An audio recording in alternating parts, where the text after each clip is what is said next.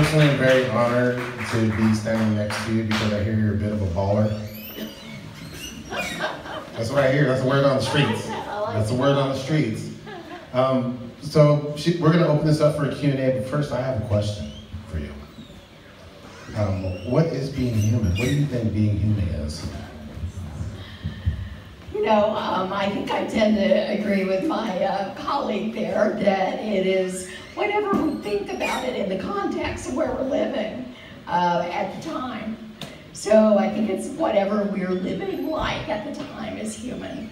And that's going to change, and it has changed. I mean, if you look at humans over history, uh, we are different.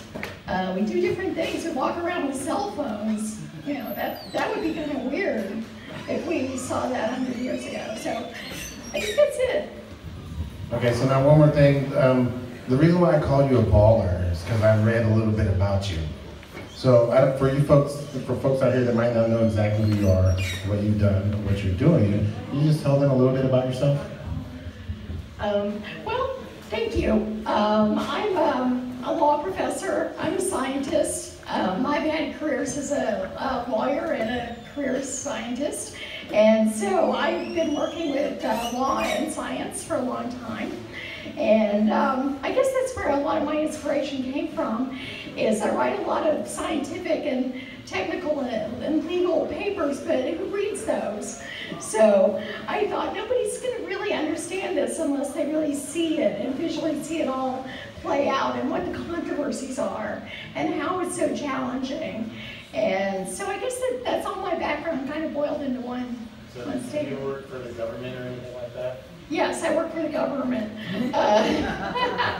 Uh, no, I worked uh, in the White House Science Office where we were trying to think about these science things, you know, going on uh, for the future, what we would be thinking about. And then I worked as a government lawyer too in the transportation and the innovative research office. So, yeah. Okay, so now uh, give her a applaud for that. That's just amazing, amazing. So now I'm going to open up the floor for a Q&A. Um, I'll just let you hold the microphone so we don't have to go on that. You okay with that? All right.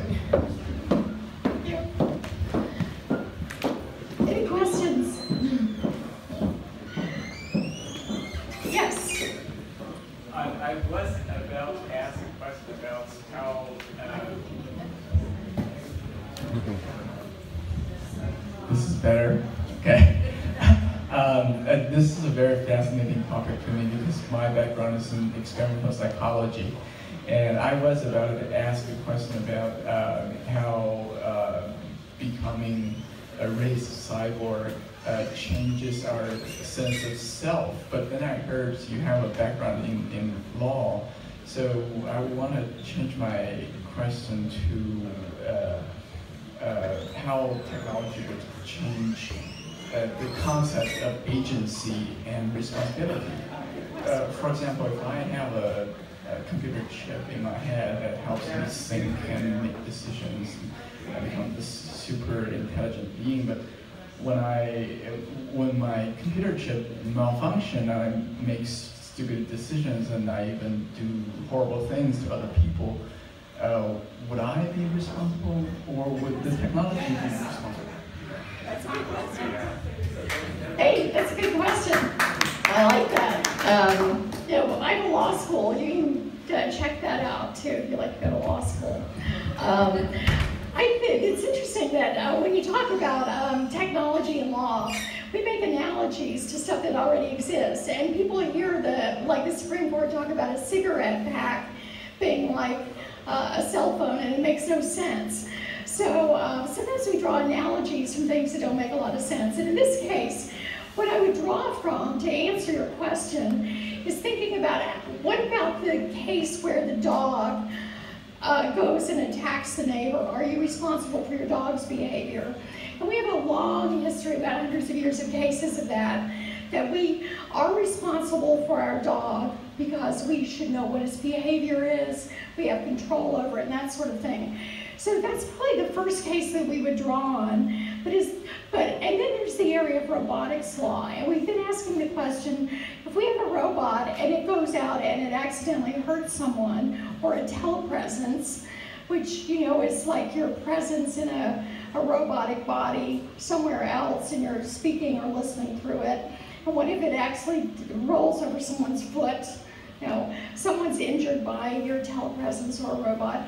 Are you responsible for that? How much control do you exercise over it? To what degree do you have control over it? Becomes the question. But where I think your question really comes in as a real problem is when do the, when those two things merge, the machine and your brain merge together, and then they become inseparable. And then at the point where they become inseparable, you have to probably take responsibility for your actions. Um, to the extent that it's robotic, and you, uh, the question we're still grappling with is, is the programmer responsible? If the programmer programs a robot and the robot then goes out, even in AI, and we can't predict what AI will do, you know, one step changes after the other in response to the environment. But to, but to what extent did the programmer not foresee that? Was that foreseeable? And then you might put that in a negligence context for the programmer. And that may be to say that may be another analogy for your brain uh, machine interface. But that's a good question. And we're going to have to think about those questions. That's a good one. What if the programmer itself is a, is a machine? we're, we're seeing code writing uh, programs emerge and they do a better job than human beings. I, yeah, exactly. Um, good question. But um, to the extent that you, you assimilate that in yourself and you become that agent, I think it'll be hard to separate and then you will be responsible for it, I think. Yeah. I'm curious what other maybe sort of questions you might have, um, or things that had come up. Uh, a lot of this seemed to revolve around personhood, just in general, and also how how the, the idea of, of not just merging our consciousness and ourselves with machines, which obviously we've done you know quite a bit um, back through time um, showed, but um, also how um, basically bringing that to the forefront. Um, I guess I'm kind of trying to understand what maybe um, what kind of epiphanies you might have had just in personhood in general in doing this film. Uh, yeah, that's a good question. Um, one of the things that bothered me about, uh, one of the reasons I really wanted to do this is I was bothered because we weren't having a dialogue about that as a group.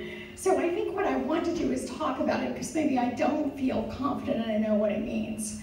And I want to have a dialogue so we can decide as a society what this means. To have maybe different people with different talents among us and do we, do we need to, to have them as a protected class in the Constitution?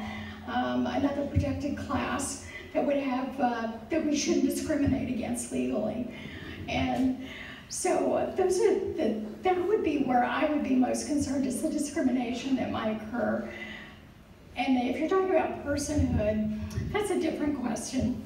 Um, were you talking about it in terms of a legal well? Legally, legally and morally, um, also, I mean, we've declared corporations persons, which uh-huh. is a very interesting thing, but also hmm. there, we're coming up on other things that are more, you know, if it has feelings, if it, you know, like people can be declared a non-person because they have maybe a, a, uh, uh, um, yes.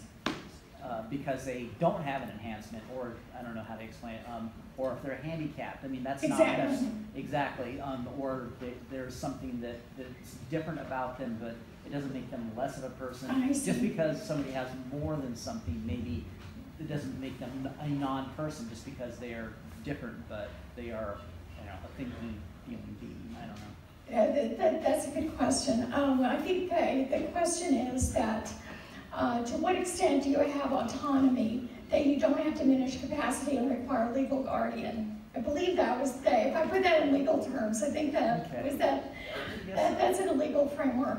So if you do have, um, if, if you do have some sort of an enhancement, but you're saying if you have diminished capacity, like maybe the Parkinson's guy or something, I, I just think that's interesting that, that to bring Yeah. those into, and people, again, like you said, Right. so that they have rights, that they should not be treated like a, a, a non-person just because they've made a decision or have to have certain things. Yeah, that's an interesting idea. Now that's making me think about as uh, as a community, a growing community of cyborgs that have all different problems because they have all different enhancements. Maybe there should be an advocacy group that advocates, like a um, like an ombudsman who goes on your behalf to negotiate whatever problem you might have with with uh, having your picture taken on the passport or something like that.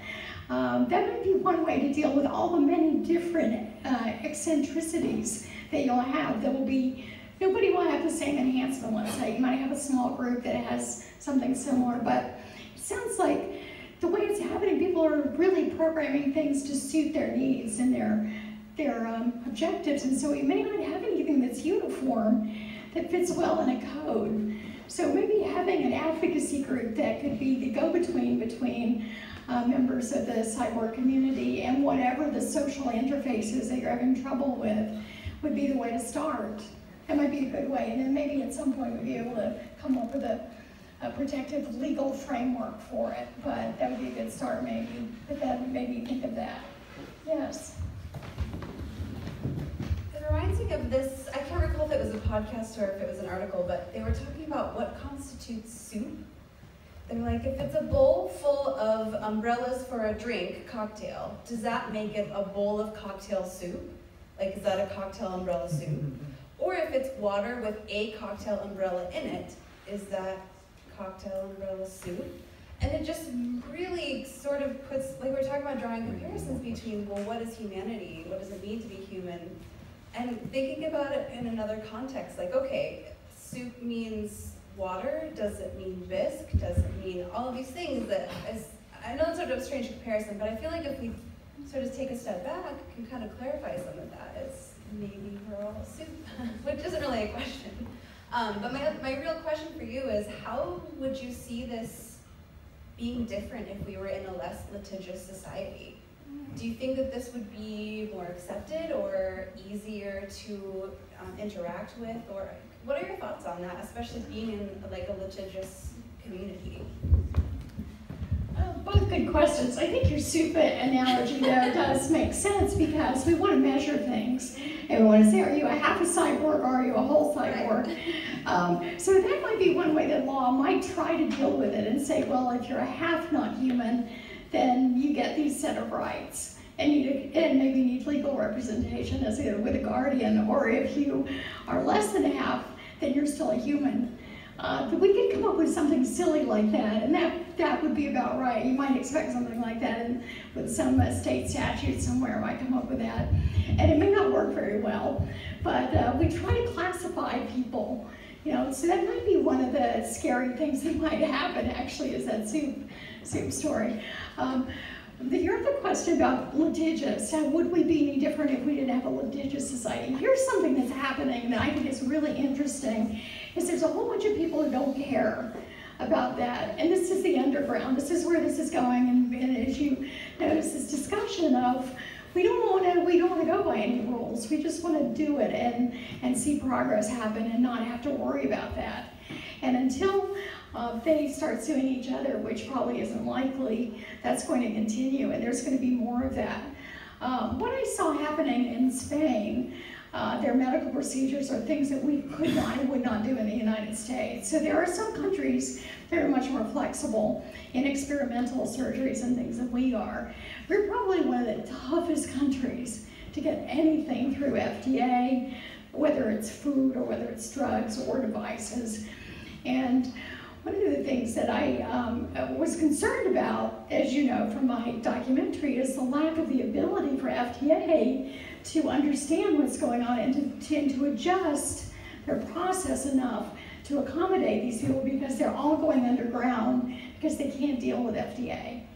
And you only, they really only have to do that if they, if they have a, something that's categorized as a device or drug which claims to do something uh, or changes the structure or function of a body under the definition of the drug and device. Um, but things that you, like an RFID, RFID chip that just opens the door isn't a medical device because it doesn't like keep track of your temperature or collect your pulse information. Once you do that, you've got a device. Um, so that's, um, would we do more if, if we weren't so litigious? Yes. yes, we would do a lot more. Um, you'll have tort lawyers though argue, well, we're really, we're really preventing harms from happening by being scary. You know, you can be sued for a lot of money if you do something crazy.